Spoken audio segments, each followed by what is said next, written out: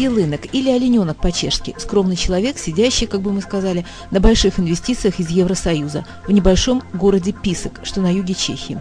Город называют воротами в Южную Чехию. Получаемые из Евросоюза инвестиции идут прежде всего на коммуникации, дороги, парковые и прогулочные зоны. И не важно, что в Писаке проживают всего-навсего чуть более 30 тысяч человек. Зато из Евросоюза сюда поступают миллионы евро, а собственный бюджет города – 1 миллиард крон – или по-нашему 500 миллионов гривен. На самом деле, всякий раз это очень серьезный конкурс. Мы подаем сначала заявку, потом сам проект. Специальная комиссия в Евросоюзе выносит свое решение. И если решение положительно, то мы получаем этот грант. Вы видите, что в 2002 году наводнение здесь, в 100 километрах от Праги, было такое, что река Отава, левый приток Ултавы, покрыла водой все дома с крышами, а из воды торчал только вот этот крест. Город основан в 1254 году. Своим названием обязан прибрежным пескам, принесшим ему славу в средние века, потому что в них находили золото. В Писаке многие чехи предпочитают жить и каждый день ездить на работу в Прагу. Одна из достопримечательностей города – каменный мост через Отаву, построенный в 2063-65 годах.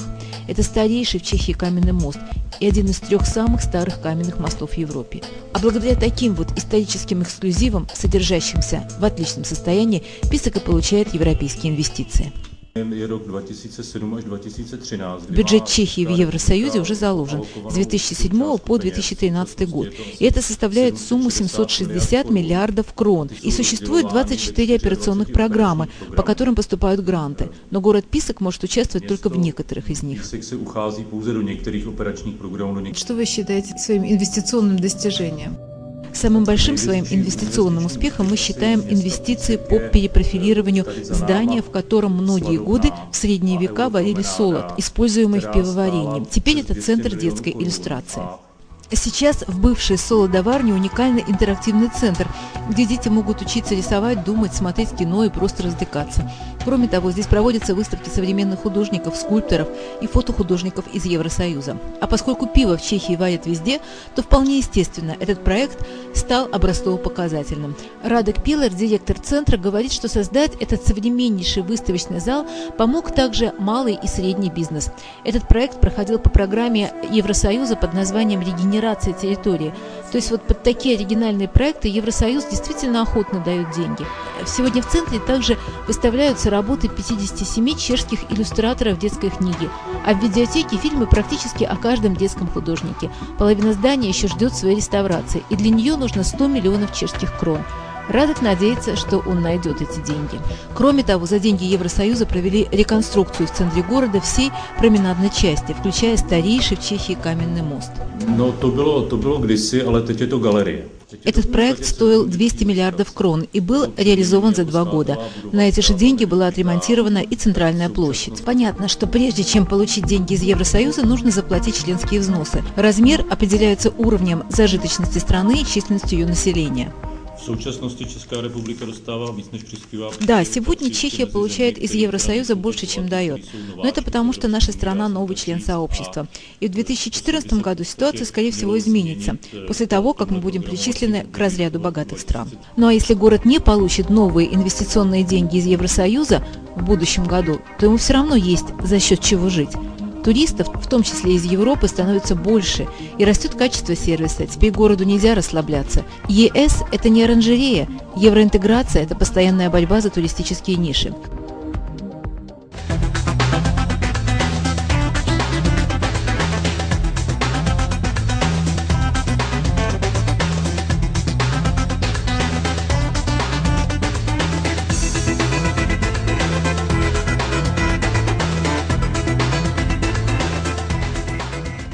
Чехии отличные дороги, можно смело арендовать машину и отправляться куда хочешь. И это будет удобнее и дешевле, чем нанимать экскурсионный автобус. Поедем в обожаемый туристами Чешский Крумлов, что на юге страны, недалеко от границы с Австрией. Чешский Крумлов – город, который был отреставрирован благодаря тому, что власти решили передать ему настоящий туристический шарм. Это все произошло очень быстро, за каких-то 10 лет.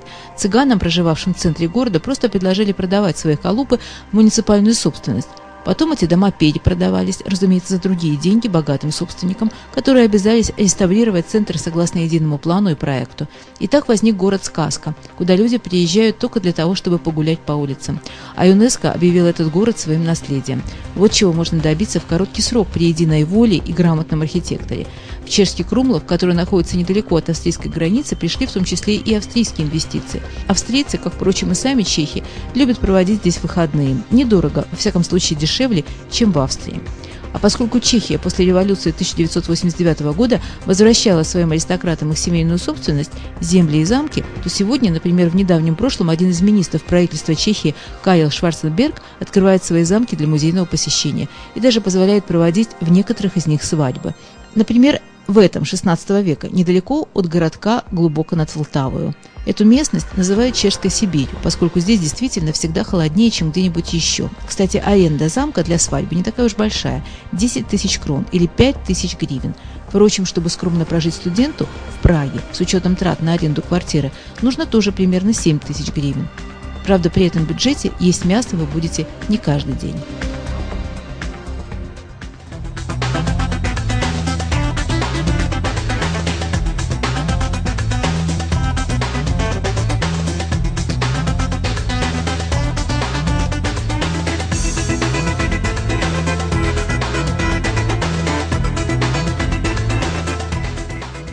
Кстати, как евро интегрируется в Чехии иностранцы? Дарима Баторова из Улан-Удэ, из Бурятии, получает в Чехии второе высшее образование. Проблемы о интеграции для меня не было. У меня уже от самого начала появились какие-то чешские друзья совершенно случайно. А, я начала с ними общаться, они познакомили меня с другими людьми. И таким образом это было очень органично, без проблем. И ощущение а, чужого, чужого дома, не своего, у меня в Чехии никогда не было. Дарима в Чехии бесплатно получает второе высшее, учится в самом престижном вузе страны – Карловом университете в Праге. Родители – обычные врачи. Шанс учиться бесплатно и даже во второй раз в Чехии имеет любой человек. Иностранец тоже. Любой, кто знает чешский язык. Кстати, только 11% населения Чехии имеют высшее образование. И здесь не считается зазорным, если ты высшего не имеешь, но зато хороший строитель или парикмахер. Правда, и конкурс Карлов университет огромный. Например, в этом году на политологию поступали 4000 человек, а взяли только 300. А, когда они вступили в 2004 году в Европейский Союз, а, это был для них какой-то шаг возвращения в лоно Европы. Потому что вы знаете, что Чехия – это одна из самых богатых стран восточного блока, скажем так, бывшего, да, Совет, э, который относился к Советскому Союзу.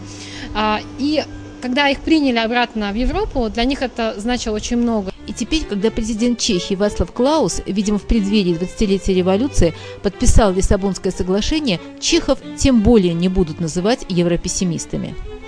В принципе, институт президентства уже от э, времени Тамаши Гарика Масарика, еще с первой Чешской республики, да, 1918, от 1918 до 1938 года, э, институт президентства очень уважаемый. Кто скажет президент, это очень важно для чешского общества, хотя премьер-министр, у него больше полномочий и функций, скажем так. Кстати, многие чехи подчеркивают, они не считают себя жителями Восточной Европы, а на университетских кафедрах утверждают, что линия Восточной Европы проходит аж через Киев. Скажи, пожалуйста, вот украинцы, они занимают э, главенствующее, может, положение в общем количестве мигрантов сюда. Как они себя чувствуют? Я сталкивалась со студентами из Украины. У них есть свои стипендии, которые они получают от правительства Чешской Республики. Я а, общалась э, с рабочими из Украины, а, которые работают для того, чтобы накопить себе на дом. А, особенно очень много людей из Западной Украины. Но если вы захотите устроиться в Чехии на работу, то знайте, что работодатель возьмет на работу скорее чеха, чем украинца. Для того, чтобы оформить украинца, ему нужно не только объяснить особые мотивы, но и заплатить государству дополнительные деньги. То есть вы должны быть особо нужным специалистом. Со всей остальной Чехии, говорит Дарина, сложнее, но в Праге умереть от голода нереально. Работа всегда найдется, например, в том же самом Макдональдсе. Вот люди, что постарше, скажем, пос, на где-то им 40 лет, 35, они мечтают вернуться домой. Они очень хотят вернуться домой, они говорят, вот мы накопим на дом, вот мы накопим на образование детей и поедем домой, и будем, и будем там у себя в деревне там, или в маленьком городке. А вот у молодежи, та, что учится в университете, у нее, конечно, другие планы. Мария Молчан из Иркутска получила в Чехии два высших образования, оба бесплатно, и сейчас учится в аспирантуре. Я считаю, что пробиться здесь, в этой среде, не так уж и сложно. Рабочих мест здесь достаточно. Вообще, если говорить о Э, как раз в отличие русских от украинцев и молдаван, восприятие чехов, то они все равно, русских они скорее воспринимают как бизнесменов, э, которые приезжают сюда с деньгами, с большими деньгами. И чаще всего это люди образованные, и ведут они себя соответствующим образом. А, а украинцы, например, они, к сожалению, ассоциируются с грубой рабочей силой, которая работает на стройках. Мне чрезвычайно жаль, что именно такое сложилось мнение. А, потому что здесь э, целый ряд очень образованных украинцев работает. У меня много друзей работают в Академии наук э, Чешской Республики. Они все из Украины, с Украины, в основном это Харьков, э, потом из, из Сумской области кто-то. Замечательные люди, очень образованные, и, в общем, по сути, они именно и делают существенный вклад в развитие именно чешской науки, потому что все патенты, все вот эти, все изобретения, они все равно будут, так скажем, навсегда являться, всегда являться собственностью и достижением э, Чешской академии наук. Бесплатное высшее образование на чешском – великая государственная привилегия. Это не найм на работу. Здесь не играет никакой роли твое гражданство. Если хочешь учиться и достоин, то будешь. Коммерческие вузы в Чехии совершенно не престижны. Там учатся в основном работающие люди и те, кто получает второе высшее. Скоро будет введен закон о том, что образование будет повсеместно платным, в общем-то, я сказала бы, что это некоторое веяние Евросоюза, и оно, я считаю, тоже оправдано, поскольку человек должен чувствовать, что э, образование, которое он получает, что это имеет Э, какую-то ценность, а если он все это получает бесплатно, так скажем, и не чувствует, что потом ему придется этот долг возвращать в какой-то форме, он и относится к этому с некоторой легкостью. Сейчас Мария защищает диссертацию в Карловом университете и говорит, что в России это было бы для нее очень дорого, а в Украине вообще невозможно. Я ничего не плачу за учебу в аспирантуре. Более того, я даже получаю стипендию. У нас еще есть возможность получать какие-то средства из грантов, выделяемых э, как раз на какие-то научные научные разработки. Как правило, эти гранты получают преподаватели, э, но если, предположим, этот преподаватель является моим научным руководителем, и я ему помогаю э, в, в общем, продвижении этого гранта, естественно, я имею полное право на какой-то процент от этого гранта. В Чехии не принято устраиваться на работу нелегально, потому что в таком случае у вас нет медицинской страховки и нет социальных гарантий. И если вас на этом поймают, то попросят из страны. Кстати, многих украинцев и просят сейчас, просто не продлевают визы в связи с экономическим кризисом, особенно тех, кто без высшего образования. Большое сокращение и таким образом возвращение домой будет этой осенью.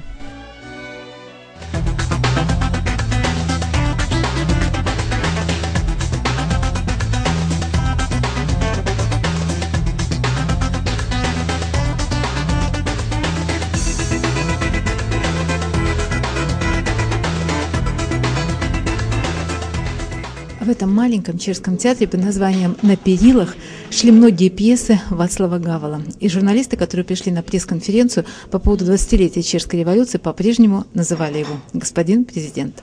На эту пресс-конференцию экс-президент пришел в тех самых штанах, что был 17 ноября 1989 года, когда студенты вышли на улицу и потребовали свержения коммунистического режима. Его сторонники, сидящие рядом, не могли похвалиться тем же самым, потому что стали на несколько размеров больше. Václav Havel, он, он э, по профессии, он просто писатель и э, театром занимается. Ну, э, просто ситуация была такая, что это был он, кто как бы типа вышел и начал быть как бы граждански активным. Он был каким-то таким натуральным авторитетом, и он умел сам немножко над собой посмеяться. И, в принципе, он никогда себя не ставил на какой-то высший уровень, чем остальные граждане, граждане Чешской Республики. Он сам себя всегда считал, что он именно президент нас всех чехов. И, в принципе, я думаю, что тоже очень важно, что с ним не связаны почти никаких таких больших политических афер. И он всегда старался каким-то образом выступать именно как эм, такой человек, с которым должны все договориться. То есть он всегда предлагал какой-то такой очень э, спокойный компромисс для всех. И поэтому экс-президент Чехии Вацлав Гавел, четыре срока отбывший президентом, сегодня без преувеличения духовный лидер нации, в какой-то степени ее духовный отец. Это исключительный человек, и он исключительно популярный. За что его критикуют те, кто не любит? За что? Э, типа, что он такой э, гуманиста, что он типа всех хочет любить, э, критикует э, за что, за то, что э, у, у него нет приоритет типа поддержка бизнеса или экономика, но это в принципе так, это критика, что он очень ангажируется в таких э, миротворческих э, процессах. В принципе, э, за, за это дело или за, за эту активность, за которую его очень много людей любит, то некоторые люди считают, что это неправильно. Он остался человеком. Он не поменялся в какого-то такого политика крутого, а именно он остался просто вот Вацлавом Гавелом, таким, каким он был всегда. Ну что, можно сказать, счастливая страна, где молодые люди с таким уважением и даже восхищением говорят об экс-президенте. Они провели эту пресс-конференцию в честь 20-летия Вельветовой Чешской революции 17 ноября 1989 года и 20-летия падения железного занавеса Берлинской стены. Вацлав Гавел и его ближайшие сторонники со времен Вельветовой революции Юрий Кризан, Александр Вондра, Михаил Зантовский. Конечно, журналисты поинтересовались, что думают авторы Вельветовой революции о своей главной ошибке прошедших 20 лет – они ответили, что своей главной неудачей считают распад Чехословакии. С другой стороны, они начинали 20 лет назад одновременно с нашим, украинским рухом. Но они, в отличие от украинских демократов, смогли сделать дело демократического развития и экономического процветания родной страны общей национальной идеей. Как ему удалось прожить четыре президентских срока без поддержки бизнеса? А он поддерживал бизнес. Э, я говорю, э, что не ставил бизнес как приоритет, потому что приоритет, э, ну, говорил, или Вацлав Гавел говорит, давайте, конечно, будем заниматься бизнесом. Вот есть демократия, есть типа там капиталистический бизнес, все нормально, но это должно быть в рамках какой-нибудь моральности. А вообще нас в Чехию пригласили очень динамичные молодые ребята. Организация «Человек в беде», которая 12 лет работает со своими благотворительными программами по всему миру и распространяет демократические ценности и образовательные проекты. Благодаря ей мы получили возможность посмотреть на Чехию через пять лет после вступления в Евросоюз. Большинство людей э, сейчас просто недовольны с чисто прагматических э, вещей, как, например, что нам не надо визы, нам не надо паспорта, э, бизнесмены, э, им просто лучше заниматься бизнесом, у них есть возможность разных поддержек. Люди уже не боятся ничего не боятся и понимаем, что, понимают, что они достойны чего-то лучшего. Вот такое понятие, вот, что я человек, и мне никто не будет приказывать, вот, что я обязан делать и что нет. Чехия как народ, я думаю, они больше гордятся тем, что они чехами, и они гордятся тем, что Чешская Республика вступила в Евросоюз, что мы членами НАТО. Большинство моих друзей очень рады, что мы являемся сейчас членами Евросоюза. Для меня лично это возможность, конечно, путешествовать, учиться, работать за границей, Вообще, мне кажется, что мое поколение чувствует себя дома в любом месте в Евросоюзе. Не надо выбирать, где я хочу жить в рамках Чехии, но можно выбирать в рамках целой Европы.